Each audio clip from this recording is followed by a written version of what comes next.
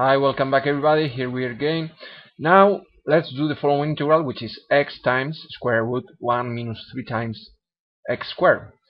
Right, for doing this integral, well, first thing we have to realize here is that um, the derivative of x squared here, it's here, right, if we have the x dx. So if we propose um, something like, let's see, 1 minus 3x squared equals to t squared, for instance. Um, if we're going to differentiate here, we'll have immediately we'll see we have something like well derivative of this respect x is minus 6x now dx and then we have derivative t here is 2t dt so that means that look x dx it equals to minus t dt over 3 okay? So look that here we have x dx okay?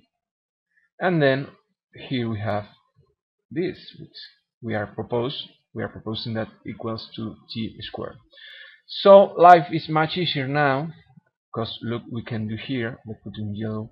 You can you can have here well square root of this is a square root of t squared okay? And now look that x dx it equals to I put here t dt over 3 okay? So well let's put the 3 out of the integral right? And the minus as well. And we'll have this okay? The t square comes out of, of the square root as well. So we'll have t times t dt okay? And that equals to minus 1 over 3 integral of t squared dt. Okay, so look, we had this integral, and now, because of this change we have proposed, this is the substitution method, right? We have a much much easier integral, which is the integral of t squared dt. And this is a direct integral, isn't it?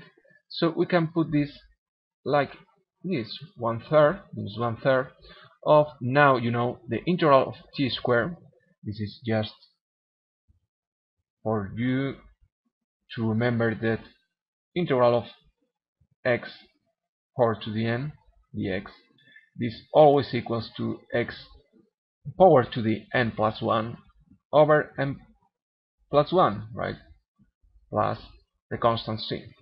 This always as far as n is not equal to minus 1 you know perfectly this okay? So we come back to yellow to yellow and we finish we are we are just finishing the exercise right? So t squared right it equals the integral I mean it equals to x now power to the 2 plus 1 it's equals 3 right? And over 3 plus the constant. So if we do this right sorry there was there was a big big mistake here. You you had also seen it. This is not x but t right? So it's t power 2 3 over 3 plus the constant. So this at the end of the day this means 1 over 9 minus 1 over 9 t3 plus the constant. So what what I have to do here just to, to finish the exercise we have to come back to the x. We have t and we need x right? So remember t equals to let's put here.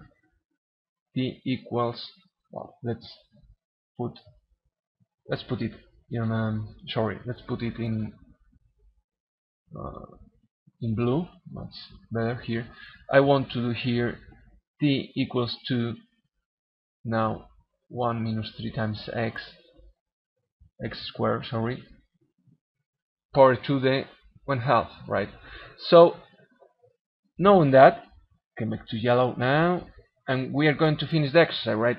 Because this will be equals to minus 1 over 9 now t we said that we can put like this right? 3 x squared.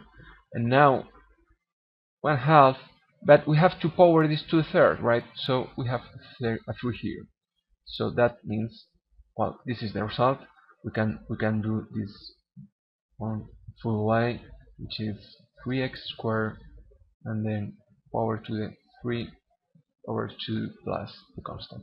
So here is the result. This is the answer we were looking for. Uh, you, you've seen it's uh, really easy if we realize that this change will make us will life much much easier. It leads to this other this different integral which is much easier than the initial one. Then it's just operate and operate, so well, just uh, easy things, right? Well, hope you you had learned a little bit more about integrals today, as well as you have practiced your English.